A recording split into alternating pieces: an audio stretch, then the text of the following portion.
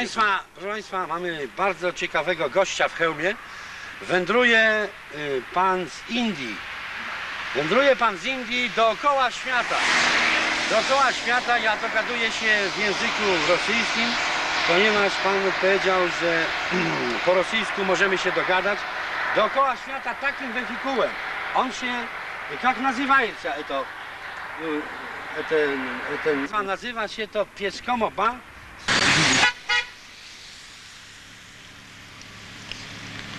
Proszę Państwa, nasz gość maszerując, a my wraz z nim poruszamy się w kierunku Chełma z powrotem, ponieważ przez właścicieli kawiarni Kosmos został zaproszony na śniadanie, na śniadanie obiad i poruszamy się teraz w kierunku Chełma.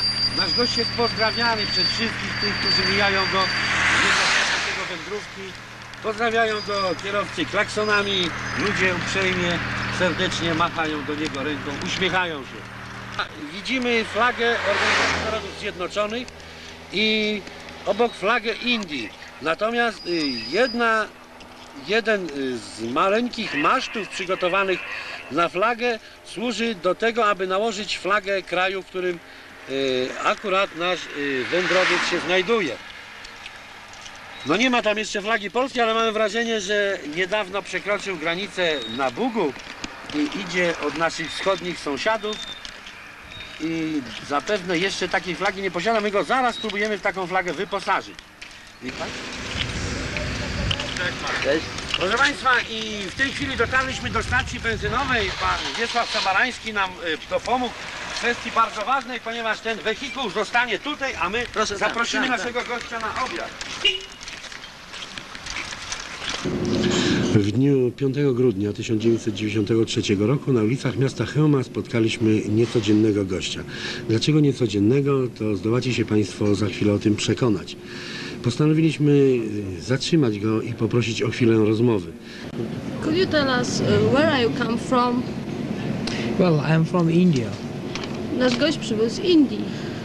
Y, Nasz gość przybył z Indii, proszę Państwa, a więc to jest bardzo daleko, z odległego kraju. I jeszcze bym chciał wiedzieć, skąd wziął się pomysł takiego właśnie przedsięwzięcia.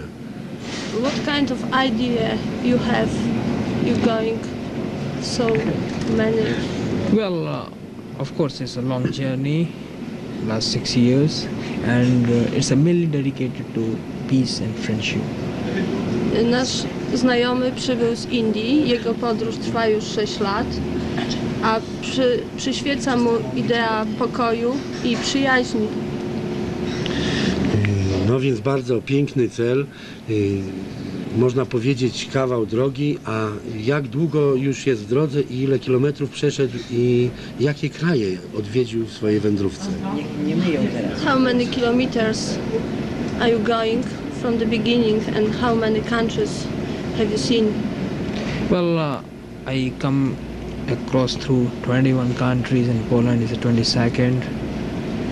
So far, I cover more than 41,000 kilometers.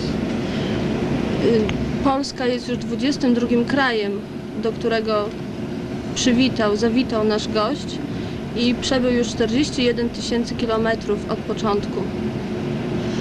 41 tysięcy kilometrów, proszę Państwa, i wraz z wehikułem, którego, y, który, jak nam y, powiedział y, nasz gość, sam go sobie nazwał, nazwał go pieszomobilem, no to jest, to jest ciężka, ciężka eskapada. Jak sobie radzisz z jedzeniem, z, ze spaniem, z warunkami atmosferycznymi, które tak się zmieniają ciągle? What are you doing during your journey? Where are you sleep? What are you eat? Naturally, of course, sleeping and eating is depending upon the condition of the country or territory. So I have to deserve on those factors. Besides that, I got certain equipment, and those, that equipment is capable of taking all those care. Z jedzeniem i spaniem jest różnie. Ma swój ekwipunek i sam sobie przyrządza jedzenie niejednokrotnie i ma swój namiot, w którym śpi, a czasami pomagają mu ludzie z krajów, w których przebywa. E, No właśnie, a jak reagują ludzie? Jak reagują ludzie, których spotykasz po drodze y, na widok twój, na twojego y, pieszomobilu? Jak reagują? Z jakimi, z jakimi odczuciami y, na drodze się spotykasz, powiedzmy w mijanych miastach? What kind of reaction you meet during your journey? Well, uh, of course, uh, for this, a good answer is whatever your reaction, same I think from others. Spotyka się w zasadzie z mieszanymi uczuciami i z mieszanymi y, odczuciami ludzi, ale na ogół daje sobie jakoś radę. Y, W takim razie jeszcze tylko opowiedz nam, jak się nazywasz i co robisz na co dzień? Could you say your name? Well, my name is Vikas Singh. Vikas Sin. Wika Singh, a co robisz na co dzień y, w życiu prywatnym? What are you doing usually in your private life? Well, now I don't have any private life. W tej chwili nie ma żadnego prywatnego życia. Wszystko podporządkowane jest tej wędrówce, idei i odwiedzaniu krajów podczas tej wędrówki. Wikas, w takim razie powiedz nam, czego życzyć można takiemu niecodziennemu wędrowcowi. What y, can we wish you in your journey? Well, you are accepting me. That's a good, uh, good wishes. And that's the most important things. So we wish you a good people, a good journey, and good luck. Thank you, and I can wish you same thing to you and your beautiful land. Thanks. Welcome. No więc jeszcze powiedz nam Magda, czego to się życzy, bo widzę, że fajnie, żeście sobie porozmawiali, ale nasi Życzę się no- miłej podróży, spokojnej, spotykania miłych ludzi i tego mu właśnie życzyłam. I również on życzył nam wszystkiego najlepszego, ponieważ powiedział, że już na początku wjazdu do Polski spotkał sympatycznych ludzi i życzył nam wszystkiego najlepszego. I my życzymy Ci tego również wraz z całą ekipą, y, wraz z właścicielkami Kosmosu 2001, którego jesteś teraz gościem, wraz z naszymi telewidzami. Niech ta wędrówka mija Ci przyjemnie, z uśmiechem na ustach. Spotykaj tylko życzliwych, serdecznych ludzi.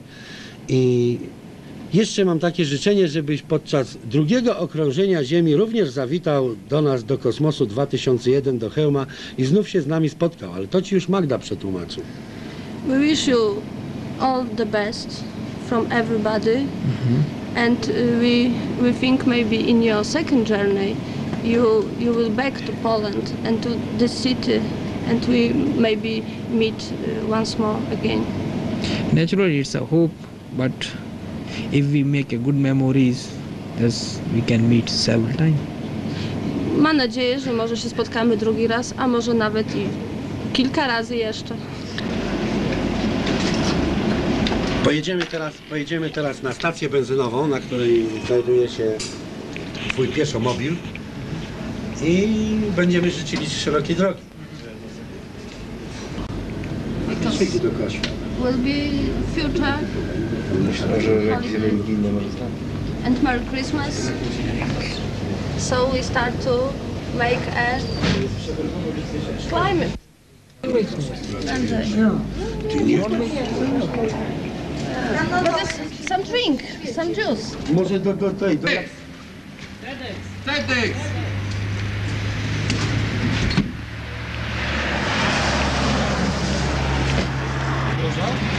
Postaram się Państwu pokrótce opisać, opisać pieszomobil, którym porusza się Wikas, yy, którym przemierzył już przez 6 lat wędrówki 41 tysięcy kilometrów.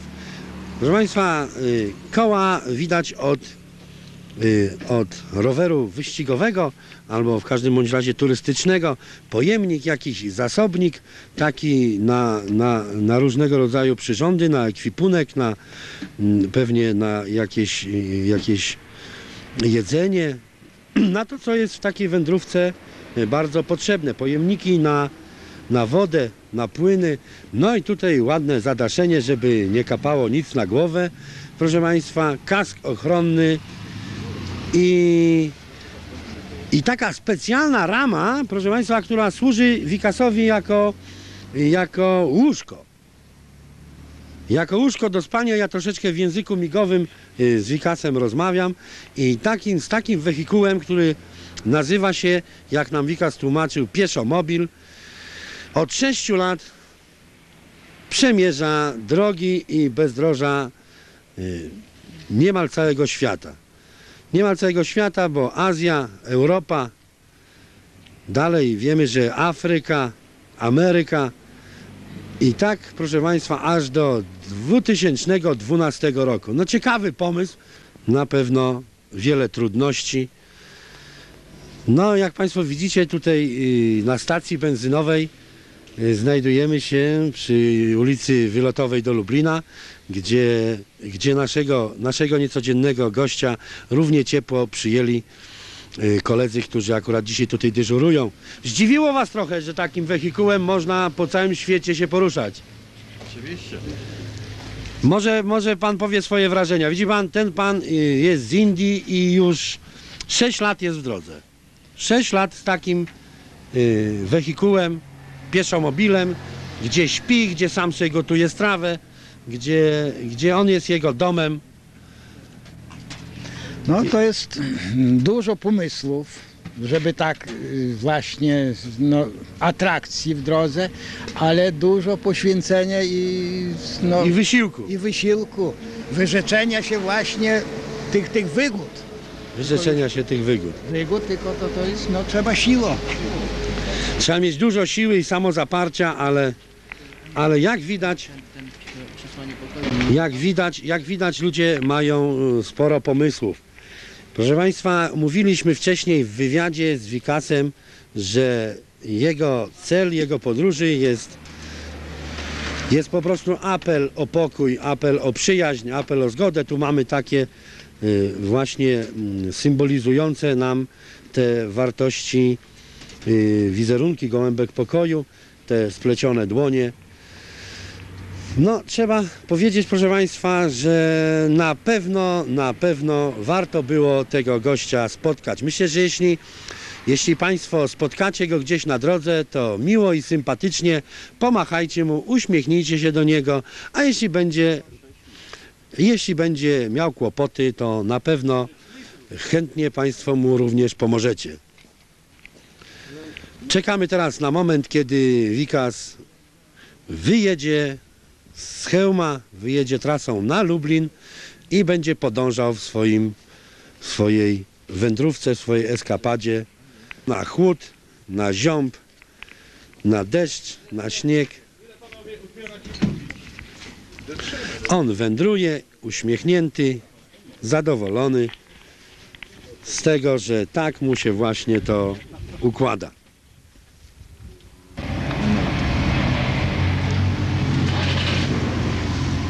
Specjalny zaczep wykonany z pasa bezpieczeństwa służy jako jako niejako hol wszystkiego. Do zobaczenia Mika z szerokiej drogi. I w tym momencie, proszę Państwa, żegnamy naszego gościa, życzymy mu szerokiej drogi, odprowadzamy go na drogę wiodącą do Lublina, wiodącą dalej, dalej w świat.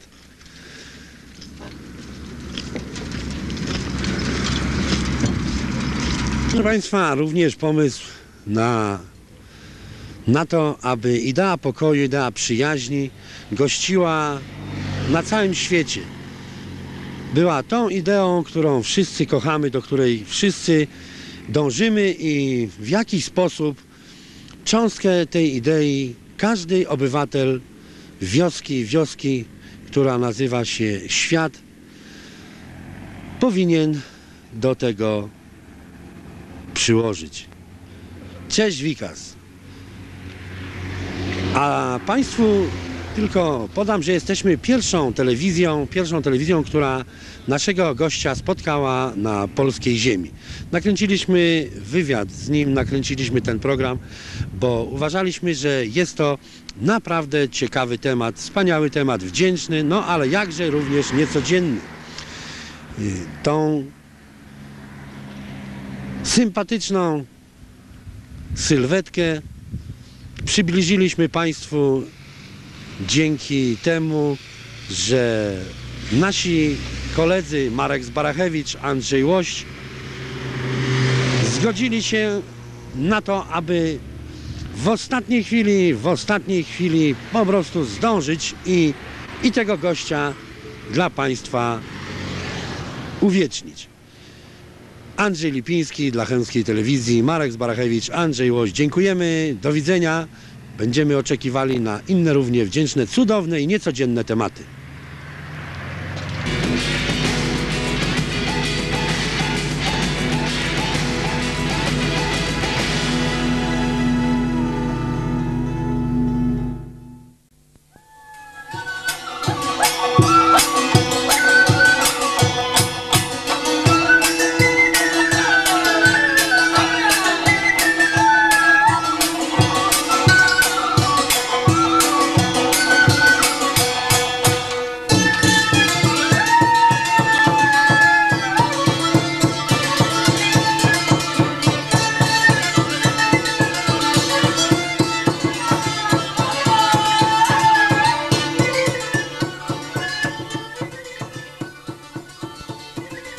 15 grudnia o godzinie 18 w Szkole Muzycznej przy ulicy Lubelskiej 3 odbył się koncert orkiestry pod wezwaniem Świętego Mikołaja. Orkiestrę pod wezwaniem Świętego Mikołaja tworzy grupa lubelskich studentów, którzy zafascynowani górami dostrzegli wciąż żywe i wartościowe treści kultury ludowej, coraz bardziej zanikające w świadomości współczesnego człowieka. Proponuje ona swoim słuchaczom, aby z biernych odbiorców stali się aktywnymi uczestnikami tego wszystkiego, od czego zwykle oddziela ich bariera sceny lub szyba muzealnej gabloty.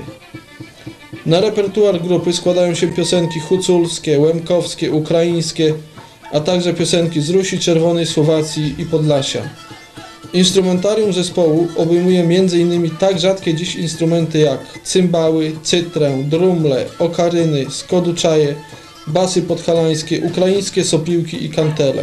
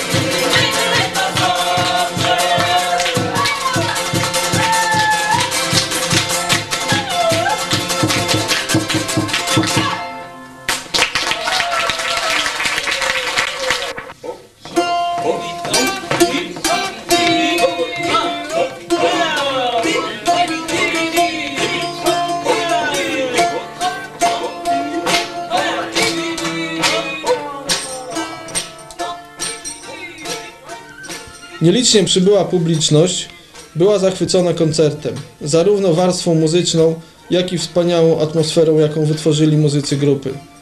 Znamienne jest to, że jeden z uczestników koncertu, który na koncert dostał się przypadkowo poprzez wygranie konkursu jak w Radiu Lublin, po koncercie podszedł do lidera grupy Bogdana Brachy i zapytał o dalsze plany koncertowe orkiestry. Stwierdził też, że od tej chwili muzyce folkowej poświęci więcej czasu. Miejski Ośrodek Kultury, który był organizatorem tej imprezy, zapewnił nas, że w przyszłym roku orkiestrę pod wezwaniem świętego Mikołaja będzie można ponownie zobaczyć i usłyszeć w hełmie.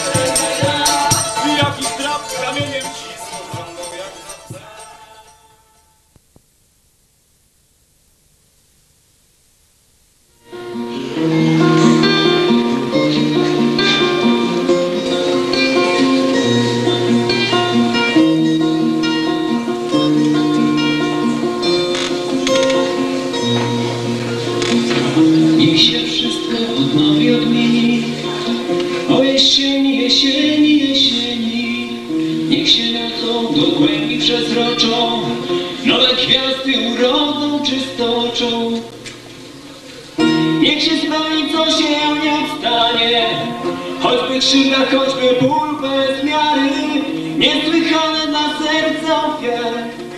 Niech czy miłość, życie czy skonanie Niech się tylko coś prędko odmieni O jesieni, jesieni, jesieni tylko to 舍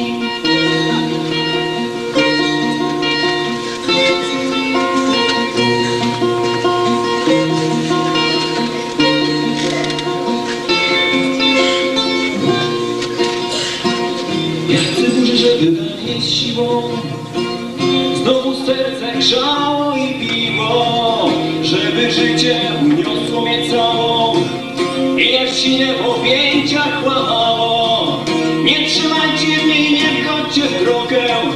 Tyle już się rozprysło będzie Jak tył bólu i szczęścia i skrzydeł. I tak dłużej nie mogę, nie mogę. Się tylko coś prędko odmieni. O jesieni, jesieni, jesieni. Niech się tylko coś prędko odmieni. O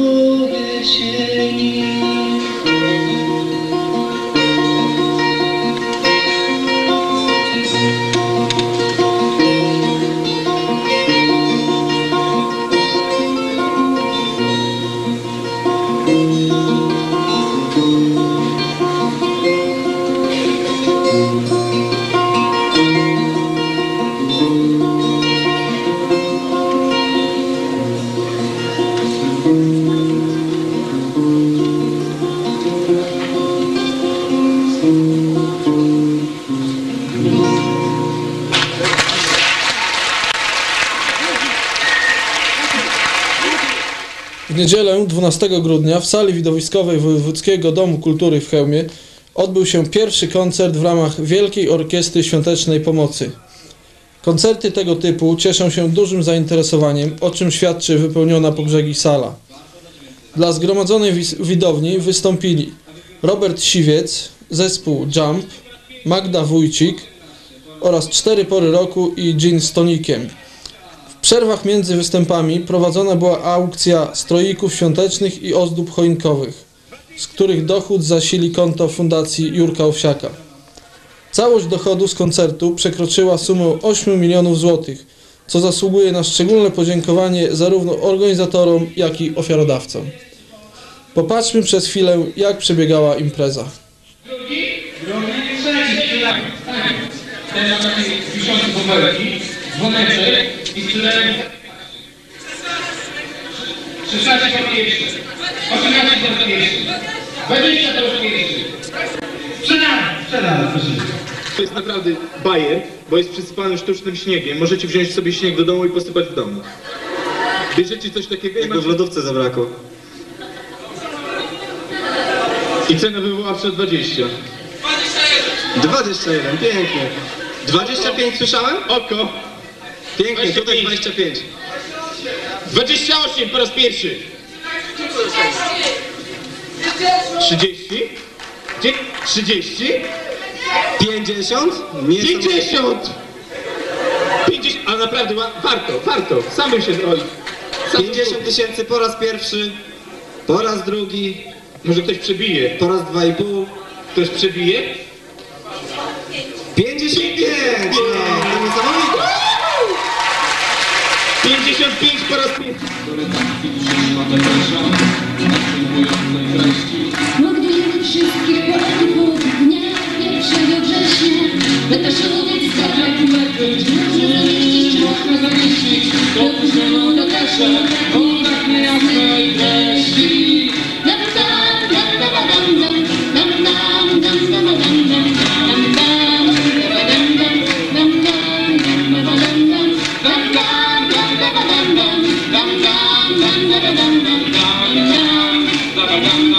Bam, bam, bam.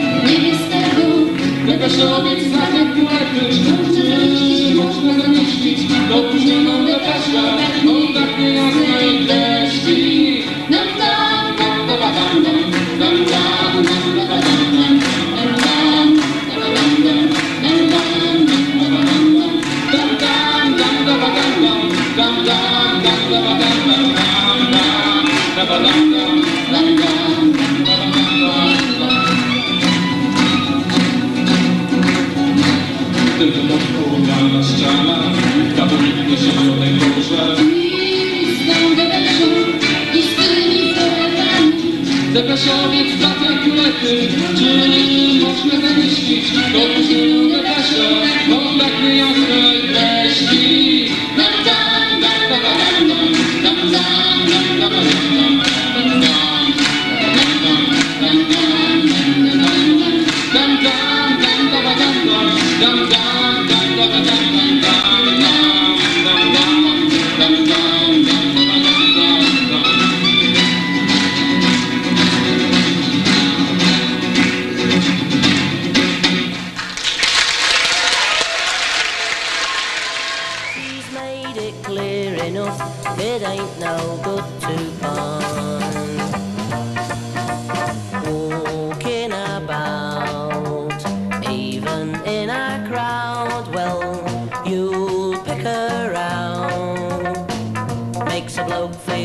so proud if she finds that I've been round to see you. To see you. Tell her that I'm well and